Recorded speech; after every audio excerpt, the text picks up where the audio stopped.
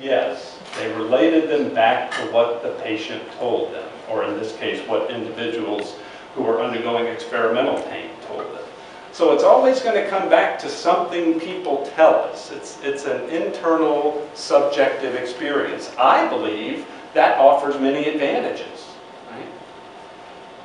It's important to recognize that self-report measures of pain are reliable and valid. That's been shown many, many times in many different ways. Patients are able to tell us how much pain they're in. It's also a lot cheaper to ask somebody how much pain they're in than it is to put them in a scanner.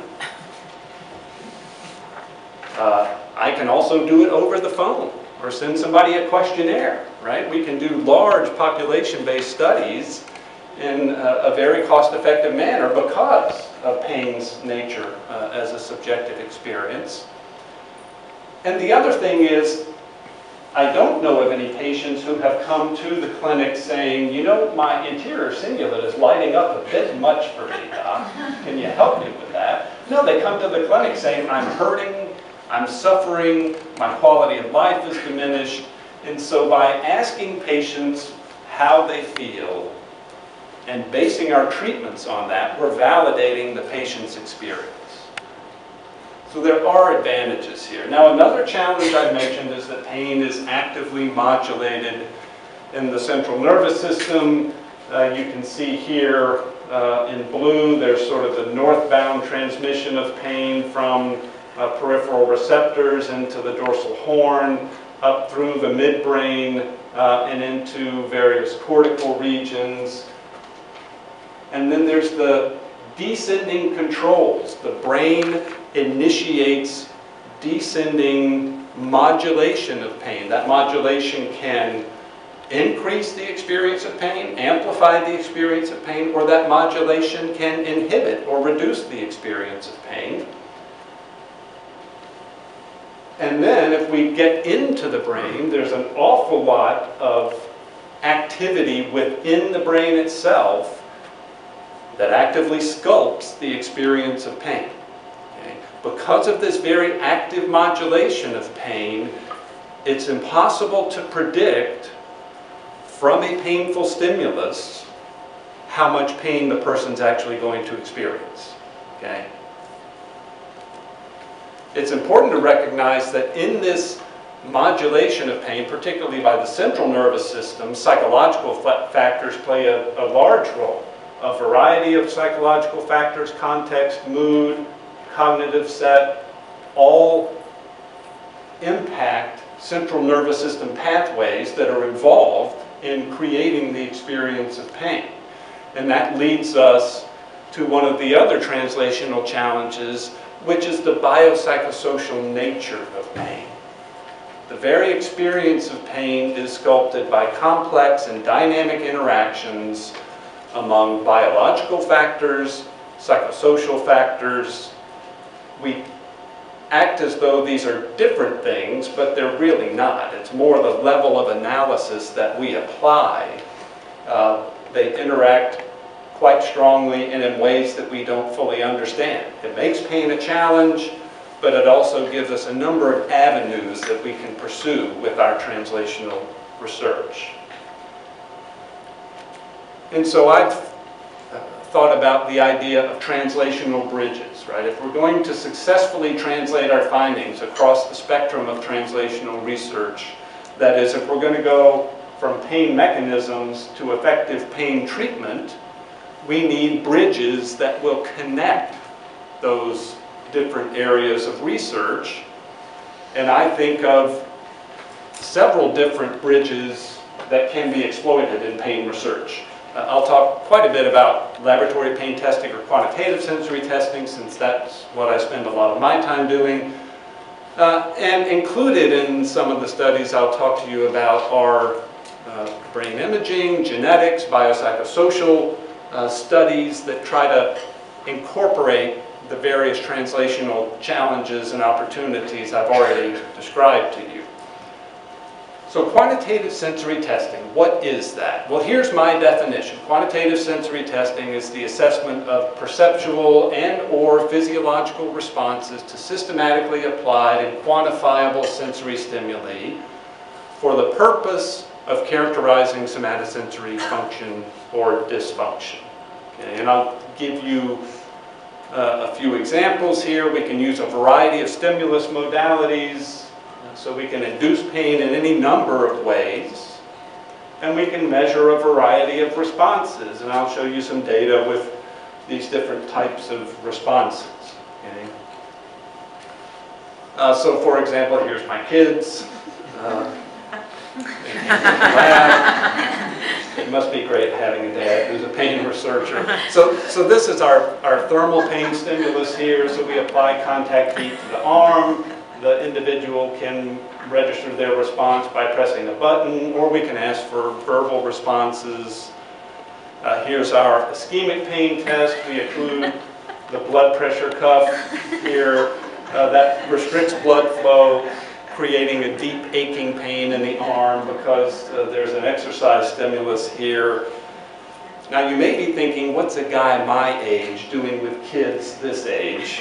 Well, they didn't stay this age, right? They've grown up now, uh, and turnabout is fair play, so I, I, can't quite strap them into the lab like I used to, but uh, we had fun back in the day. So that's quantitative sensory testing. We apply, uh, in, in my lab, we apply primarily painful stimuli, we assess uh, perceptual responses, and sometimes other responses. Uh, and one point I'd like to make is that quantitative sensory testing is clinically relevant. Right? Now, what I do to people in the lab is not the same as having chronic low back pain. Right? But it is relevant in that it, uh, it draws on the same pain processing systems that are involved in processing other types of somatic pain. Study. We're doing a study uh, on osteoarthritis, knee osteoarthritis. Uh, we've um, perpetrated several forms of pain testing on these folks. Um, here's a brief sort of summary slide of some of the demographic and clinical characteristics of our sample. We divided them for purposes of analysis into patients who had knee OA and high levels of clinical pain, and that was based on a median split of the graded chronic pain scale. Uh, so 50 or above would be high levels of pain, uh, and below 50 would be low levels of pain. And of course that's reflected on the WOMAC too. Okay? Uh, and then we have a control group of people who don't have any symptoms of knee osteoarthritis. And, and so I'm going to show you some comparisons of quantitative sensory testing findings for these three groups. So here are heat pain thresholds and tolerances. Uh, we apply the stimulus both to the arm and to the most affected knee, uh, or to a matched knee if they're controls. And what we see in particular is that the osteoarthritis patients who have high levels of pain uh, have lower heat pain thresholds and tolerances than the other two groups. That is, they're more sensitive. It, it, requires less stimulation to evoke pain in these individuals. And it doesn't matter whether we're applying it to the arm or to the knee. In fact, for heat pain threshold, their knee was no different. So this is a generalized change in pain processing, not one that's specific to the site where they have clinical pain. These are pressure pain thresholds applied to the medial and lateral joint line of the most affected knee the ipsilateral quadriceps muscle, and then the trapezius uh, muscle in the lateral epicondyle area. Uh, and again, we're seeing a similar pattern of results. The thresholds are the lowest for the OA patients who have the most clinical pain. Uh, sometimes the uh, low pain OA patients differ from controls such as here and here, but sometimes they don't. So they're sort of in between the high pain OA patients and the control. So uh, OA patients, particularly those with high levels of pain, are more sensitive to heat, more sensitive to pressure. We also apply a mechanical stimulus with a von Frey hair a nylon monofilament, a fairly stiff one. We poke people once and we say, how painful was that? It doesn't hurt very much. Uh, this is on a 0 to 100 scale. And then we poke them 10 times, once a second, and we say, well, what was your peak pain during that? And that slope that you see there reflects temporal summation of mechanical pain. See, the stimulus itself wasn't changing, but because of the repeated stimulation, uh, it becomes more painful. Most likely because of changes in how the central nervous system is processing the stimulus rather than the peripheral nervous system. And what we see for our high pain OA patients is they're more sensitive to one stimulus, but they also show more robust temporal summation of pain, and that's true whether we're testing their knee or their hand. Okay? So they have more robust temporal summation of mechanical pain. They also have more robust temporal summation of heat pain. These are uh, five heat pain stimuli uh, applied and this is on the hand, I believe, um, or, or the volar forearm. And what we see is that OA patients provide higher ratings overall, but this slope is actually steeper as well. So high OA pain is associated with uh, a broad-based, generalized, increased sensitivity to painful stimuli, no matter what the painful stimulus and no matter where we put it. And this is in contradistinction to the historical view of OA as a very specific regional disorder that's restricted to that site of pain. And one of the other things, so QST is clinically relevant, one of the things that's often done with quantitative sensory testing is research to help us understand more about individual differences in pain. Right? And what are individual differences well, there are differences between people in something important, right? And here's an example of individual differences. These are data from a study some time ago now where patients underwent a laparoscopic cholecystectomy. Uh, they're, let's look at six hours post-surgery, right? Median pain is about 50 out of 100 on the visual analog scale. Every little dot you see is a patient you have patients populating the entire continuum of pain. Some patients reported no pain at six hours, some patients reported pain of 100 out of 100 at six hours, and there were patients everywhere along the way. So if you're the provider about to do this lap chole on a patient, the patient says, well, how painful is this going to be? You're likely to say, on average, people report it about 50 out of 100. If you were honest, you'd say, I have no clue. You're going to have somewhere between no pain and pain that you can't possibly tolerate. Okay? These are individual differences in pain. Of course, there are many factors that can drive these differences. There can be subtle differences in the tissue damage done by the surgery. There can be differences in the pathology that the patient has. There can be differences in response to perioperative pain management, right? And that's where quantitative sensory testing comes in where we take healthy young adults in this particular slide, uh, 321 of them, and we apply a 48 degree thermal stimulus to their volar forearm. Exact same stimulus for every individual. And we ask them to rate how painful that was from 0 to 100. A few patients say, not very painful at all, maybe 5. Each line is a person, right? So these individual differences are not restricted to clinical pain. They're certainly observed in the laboratory. And so if somebody asks me, well, how painful is a 48 degree stimulus? I'm going to give them the same answer, somewhere between not at all and excruciating, mm-hmm. right? Are individual differences in pain real? Some people tend to suspect these are just differences in reporting behavior. So this is a nice study done by Bob Coghill's group several years ago, where they identified people sort of on this end of the continuum and people on this end of the continuum. They used the 49 degree heat stimulus. So they had people who were high sensitive and low sensitive, and then they put them in the functional MRI scanner and looked at how their brains responded when experiencing the same stimulus. Uh, and you see greater activation in several pain-related brain regions in the high-sensitive group compared to the low-sensitive group, particularly somatosensory cortex, anterior cingulate cortex, and uh, prefrontal cortex. And so their brains are agreeing with their self-report. Their brain response to that stimulus was more robust if they were more sensitive.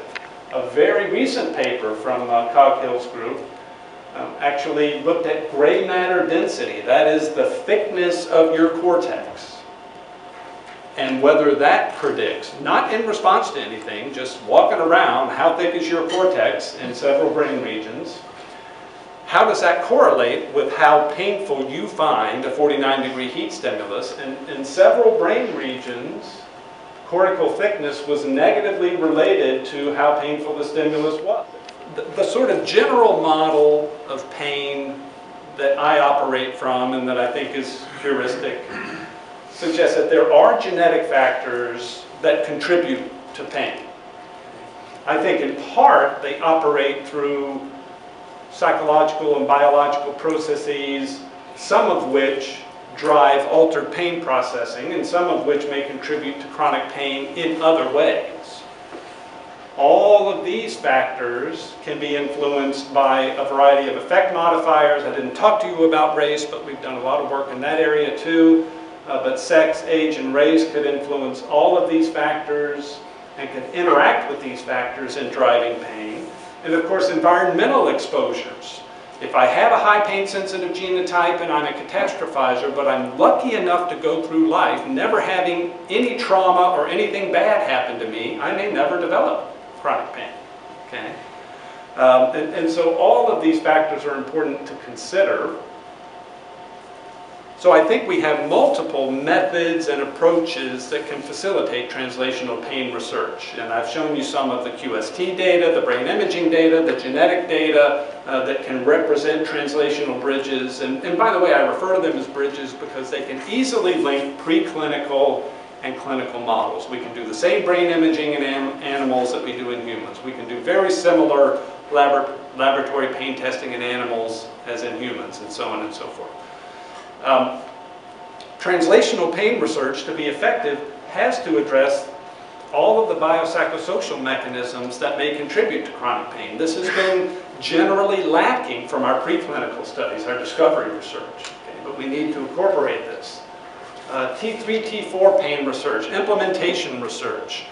Why don't providers uh, implement guidelines? Okay? Why don't providers practice evidence-based medicine? Is it that we don't have the evidence or that the healthcare system doesn't allow that or what? We need, if we could get the safe and effective therapies that are currently available to the patients who need them, we could dramatically reduce the magnitude of chronic pain as a public health problem, but we're not doing it. Okay? Uh, and so we need to work on that. Um, and I think the key is interdisciplinary translational efforts and that will lead to significant improvements uh, in the epidemic of chronic pain. I'd certainly like to thank uh, many of the colleagues who've worked with me over the years on some of the work I showed you. Uh, we also uh, are thankful for the support we get from our CTSA, University of Florida, as well as from various funding agencies uh, at NIH. And I thank you for your attention.